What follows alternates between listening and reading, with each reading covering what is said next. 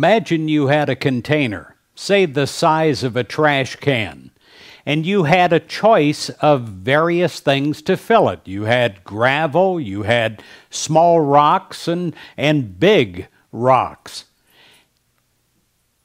You could try to fill it with gravel, and you could uh, fill it with gravel and with sand, but then you wouldn't have room for the big rocks to go in.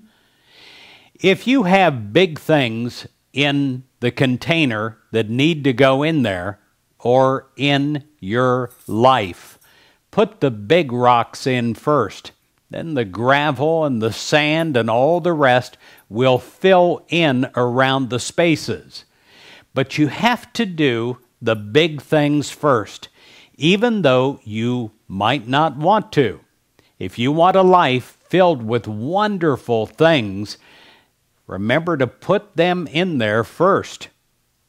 Winston Churchill said, Forward, then forward. Let us go forward without fear. Into the future. Let us dread not when duty calls. Now, if you've acquired the habit of doing the most important work in your life first and foremost, congratulations, because that is the key to a successful life. But if you find yourself putting off the unpleasant tasks until later or never, you might want to give some thoughts to the consequences of that behavior.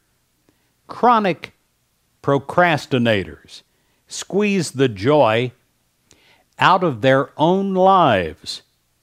It may be difficult to summon up the determination and the courage and the wisdom to prevent and to overcome procrastination. But you can free yourself from the emotional quicksand by paying less attention to your fears and more attention to your responsibilities. They're really opportunities, opportunities that have been given to you by God. In James 1, verse 22, it says, Do what God's teaching says. When you only listen and do nothing, you are fooling yourselves.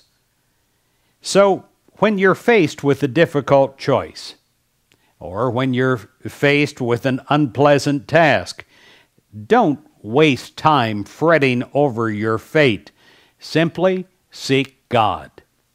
When you simply seek God, you will get busy, and God will get busy with you. When you do, you're going to be richly rewarded immediately and then your whole life long because of your willingness to act. God bless you.